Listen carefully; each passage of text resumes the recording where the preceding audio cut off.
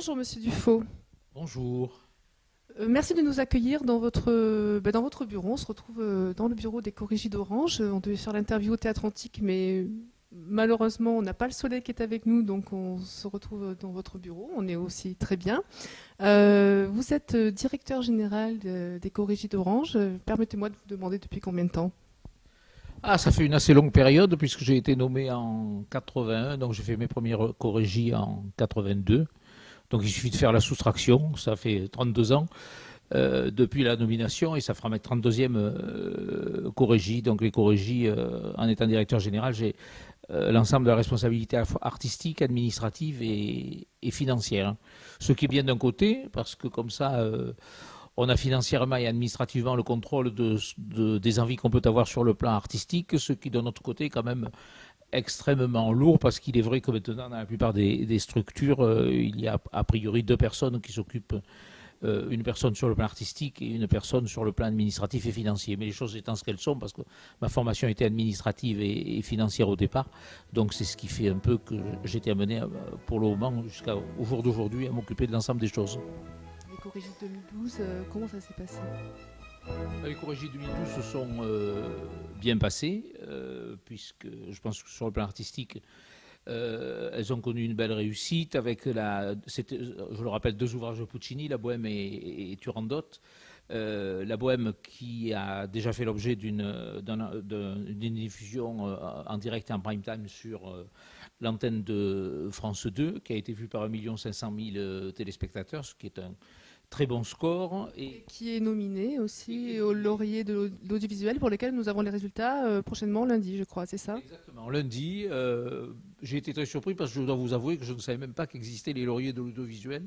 Donc ben, c'est très bien, c'est une bonne nouvelle, en espérant peut-être qu'on sera euh, nommé, ne sachant pas d'ailleurs les concurrents qu'on peut avoir, mais de toute façon c'est déjà une satisfaction en soi parce que je pense que contrairement à ce, qui est souvent dit, souvent répandu, euh, qu'il y a une opposition systématique entre le spectacle vivant et l'audiovisuel, notamment la, télévision, euh, cette récompense ou cette nomination déjà euh, prouve qu'on a fait un mariage qui semble réussi précisément entre le spectacle vivant en live et ce que peut être une retransmission euh, sur un écran de télévision. Euh, c'est le travail en commun de deux équipes, c'est-à-dire l'équipe artistique des Corégies et l'équipe de production qui était en la circonstance la société Step by Step qui euh, réalisait son premier spectacle d'opéra, donc c'est une belle récompense pour eux aussi, même si le réalisateur, en revanche, est, un habitué de l'opéra, et on a déjà fait plusieurs, opéras ici avec lui, il s'appelle Denis Cayuzzi, et l'important d'ailleurs sur le plan de ses collaborations entre la télévision et, le spectacle vivant,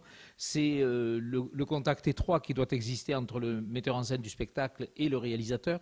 Euh, car évidemment, euh, le réalisateur a une situation assez délicate parce qu'il doit en même temps tenir compte euh, de la démarche, de l'esthétique, de la mise en scène et de la production qu'a souhaité l'équipe artistique euh, qui travaille pour les corriger sur un spectacle, et d'autre part, la vision que lui-même peut avoir de la transcription, je dirais, d'un spectacle qui est fait pour une scène qui a 65 mètres d'ouverture pour être euh, vu avec intérêt par les téléspectateurs sur un petit écran. Mais il faut croire que ça a été réussi puisqu'on a cette nomination. Et cette bohème, d'ailleurs, en plus, a eu une vie euh, d'heureuse prolongation, puisqu'on l'a reprise euh, quelques jours après au festival de Bétédine au Liban. Euh, c'était la première fois d'ailleurs que ce festival préparait un opéra. On a d'ailleurs un autre projet avec eux en 2014. Et puis reprise également dans la foulée, à la fin du mois d'août, dans un nouveau festival d'opéra qui avait été créé en Corée du Sud, à Séoul, où, le spectacle a été repris donc, dans la production des Corégies avec de nouveau Vittorio Grigolo qui faisait partie de la distribution là-bas, et avec Angela Georgiou qui était sa partenaire, sa mimi de, euh, coréenne.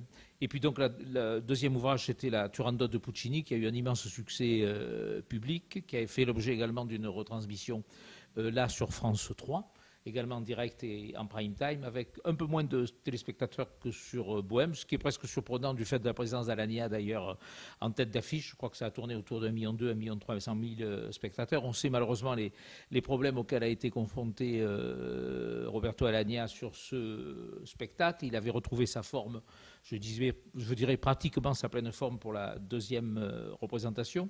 Je crois qu'en fait, euh, ceci s'explique, euh, je dirais, relativement facilement, parce que Turandot était pour lui, euh, tout au moins le rôle de Calaf, une prise de rôle importante pour lui. C'est un rôle lourd par rapport à son répertoire actuel, mais il avait bien entendu accepté, parce que je pense qu'il est tout à fait capable de bien le chanter. Il l'a montré à, la deuxième représentation. Par contre, je crois que ce qui l'a handicapé, c'est le fait d'avoir immédiatement enchaîné la production de Turandot et donc les premières répétitions après euh, les spectacles, je dirais pas de variété, mais euh, aussi un peu autour des musiques de Lopez ou dans le répertoire que chantait Mariano ou euh, des musiques latino-américaines. Et c'est vrai que le placement de la voix est pas du tout le même dans ce genre de concert, avec évidemment des tout est sonorisé avec des retours sons autour de soi. Et c'est vrai quand il arrive sur la scène du théâtre antique, il, n'a plus les repères qu'il a d'habitude dans le domaine de l'opéra par rapport à ça. Je pense que c'est une, partie, une grande partie euh, par rapport aux problèmes euh, qui se sont euh, posés. Je crois que la voix est, un, on le dit souvent, est, un instrument extrêmement fragile et il faut savoir, je pense, le ménager. Mais c'est vrai qu'il avait aussi un problème de santé évident, qu'il a continué d'ailleurs à traîner assez longtemps puisqu'il a annulé des spectacles de variété qu'il devait faire dans la foulée de Turandot. Il a annulé les premières représentations de Don Carlos qu'il devait faire à l'Opéra de Vienne.